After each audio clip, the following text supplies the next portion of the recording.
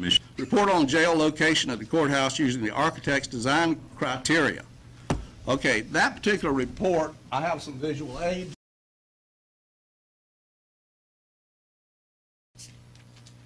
I think I can get by with that.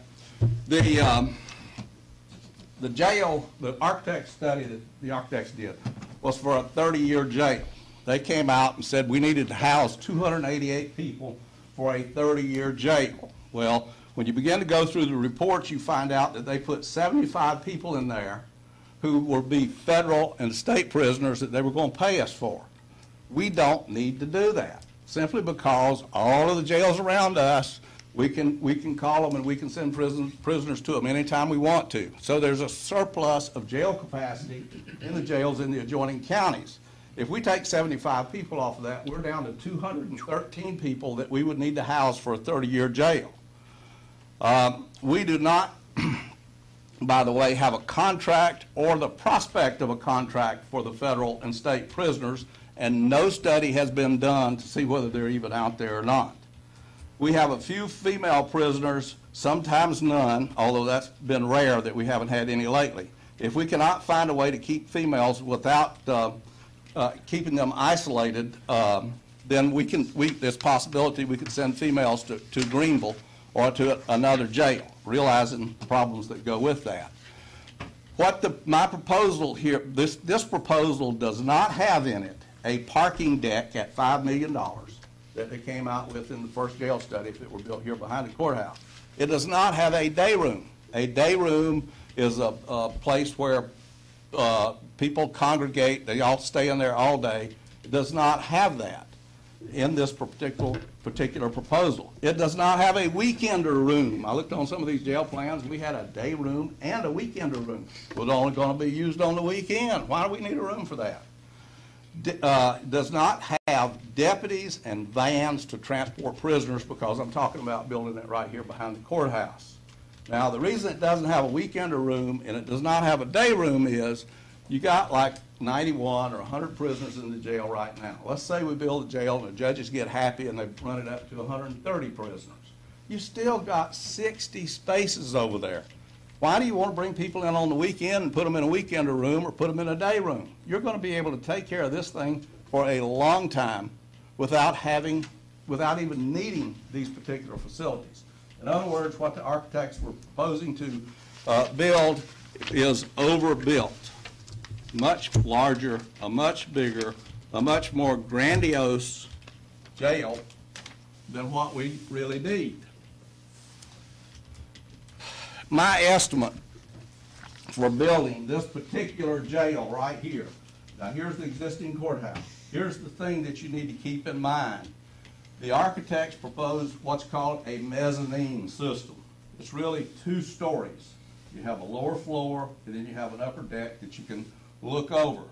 That, those particular pods have 96 prisoners in each pod, if you will. I've, I've dubbed them pods.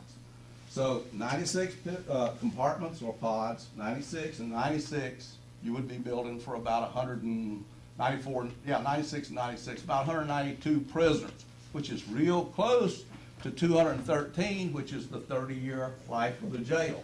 And that's probably as close as we can estimate. The, what I did was I took the architect's plans, and I took the size of the pod that he was proposing to build, which is roughly, in all of these numbers, 80 by 150 feet, 85 feet by 150 feet. That gives you a manway behind these things, or an aisle, that you can get behind to do the servicing and the maintenance and repair on the cells, so nobody has to actually go into a cell to do repair work. And the original plans called for the service core to be here and these pods to go out here, and there just wasn't enough room when you did it that way. Well, guess what? This particular service core is the same size as you would build it for the 288 prisoners, and you turn it sideways and you back it up to the tax office over here and put it 10 or 15 feet from the tax office. Then you go across this way with the pods, and you can get, easily get two pods in here. If you tore this building down, you can get a third pod with the same service core. Or you could build it over this building as far as that goes.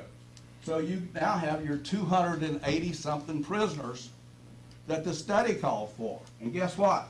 The county owns this parking lot right over there, the other side of Frank Johnson's law office. You can come off the end of this pod, and now we can get 360. We can get almost 400 prisoners on this site that people said you couldn't build on.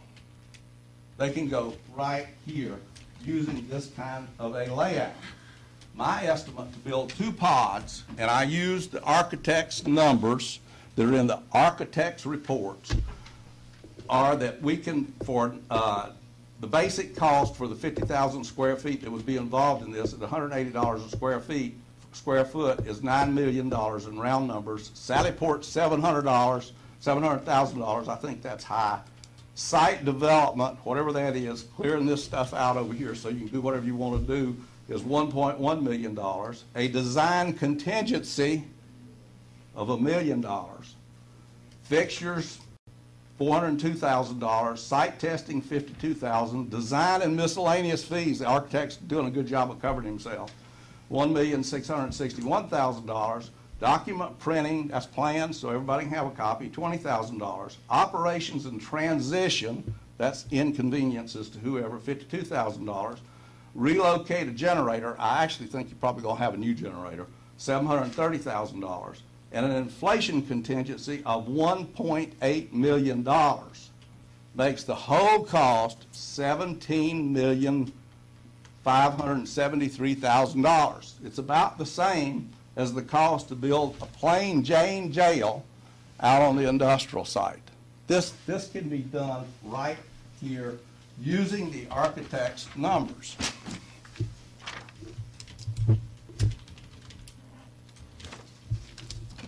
You know, Hood, some of those numbers are kind of flimsy numbers too. Well, he, he told us, and I agree with him, because I, I do the same kind of estimating.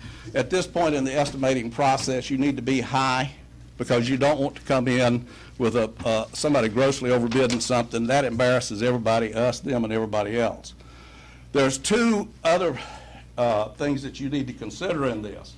Substituting capital expenditure for labor. In other words, we can hire 1,400 Chinese to go out here and move this little bit of dirt, or we can go hire a Caterpillar tractor, buy a Caterpillar tractor. And either way, it's gonna cost the same amount of money. So you're looking at the same thing in the jail.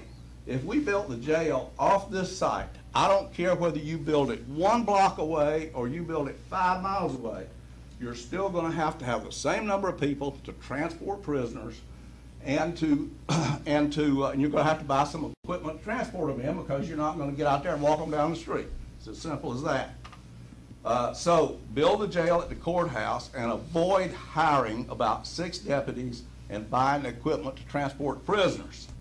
That is three hundred and sixty thousand dollars a year according to my estimate, and I think I'm low. Now, how much capital can you justify spending if you're spend and sixty thousand dollars a year for labor? It's, it's, it's a little simpler than it looks like it is. We can borrow money for about four percent, but let's say something happens and we have to borrow money for five percent. At four percent, you can justify over the thirty-year life of this, actually, you'll pay out a lot sooner than thirty years, you'll pay out in about twenty. You can justify spending nine million dollars for brick and mortar. If you do borrow money at five percent, you can justify spending seven point two million dollars for brick and mortar.